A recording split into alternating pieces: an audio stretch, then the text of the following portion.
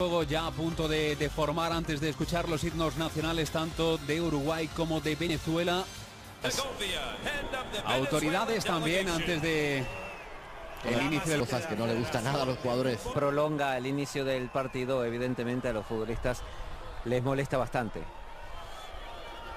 Tenemos a Diego en los que se, entre los que se encuentra también eh, José María Jiménez, eh, Alberto Peñaranda del que hemos hablado del Granada. Son los cuatro.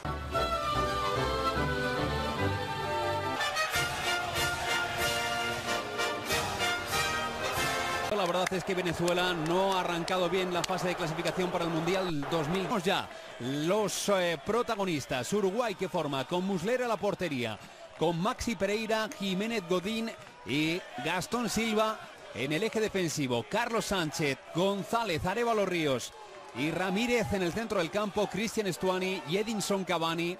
El que no lo va a hacer en el día de hoy, Patricio Lusto, el Colegio alineación de Venezuela con eh, Dani Hernández de la portería, Rosales, Ángel, Vizcarrondo y Felcher en el cuarteto defensivo con eh, Figuera y Rincón como pareja de medios centros, Guerra en un costado, Peñaranda en el otro. Arriba nos sitúan a Joseph Martínez, pero sobre todo a Salomán Rondón, el jugador del West Brom. En el Bernabéu entre Italia y Alemania tardó como 5 o 6 minutos eh, el balón en el área casi de cualquier forma.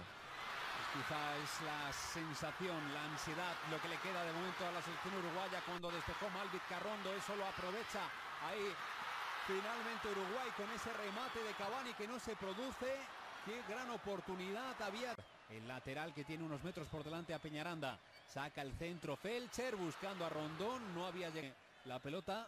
Al final termina perdiéndose por la línea de fondo y Allá va Gastón Ramírez, ese balón va con mucho peligro, Cavani lo ha tenido a la altura del segundo palo, llegó Edin Marte. Allá fuera de juego de Cavani. Sí, sí, estaba ligeramente adelantado, intensidad de sale ahora Álvaro González, Álvaro González para Ramírez, Ramírez que juega hacia la derecha para Carlos Sánchez, el centro hacia Uf. Cavani, hay posición de fuera de juego, todo ha quedado anulado. En las que Uruguay jugó la pelota con cabeza, buscó al hombre y jugó con precisión. La pausa que por A Godín, pero sin acertar en ese pase, el centro de Alexander González, Rondón que encontró medio metro del West Brom. De espaldas a la portería es muy peligroso, se maneja muy bien, evidentemente aguanta con el cuerpo. Sin sumar todavía Uruguay y Jamaica. Sale Guerra, el golpeo de Guerra, el balón que se queda en la línea de gol antes de que termine marcando Rondón el primer tanto del partido en el 36 de juego.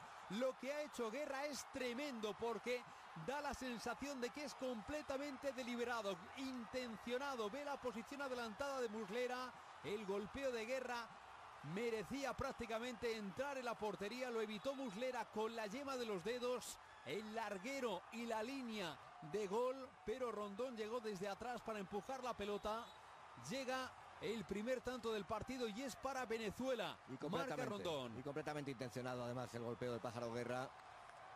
Esta ya es la recta final de la jugada después del agónico esfuerzo de Muslera Rondón mandando la pelota adentro y comprometiendo ahora mismo seriamente Carlos la clasificación de Uruguay. Desde luego, absolutamente brillante el golpeo de Guerra, porque además ve la posición de Muslera y se la juega. Golpea bien, Rondón deja bien de cara para Guerra, Guerra que va a terminar por salir en esa acción individual, sortea Jiménez y a punto de hacer uno de los goles del campeonato. Sí. Se queja Rondón y después sobre todo Guerra ante tres jugadores uruguayos es tremendo. Esto puede ser definitivo. Peñaranda que se planta ante Muslera, no define bien, Muslera reacciona para, para un compañero, ningún pase al hueco. incluso cuando la jugada va con Buscando la cabeza de Godín, que sin embargo no pudo prolongar. Tocaba Rincón. Y aquí este escenario es el que se plantea ahora con ventaja para Peñaranda, otra vez dentro del área. El balón buscando a Rondón. hizo bien, ¿eh? Hizo bien.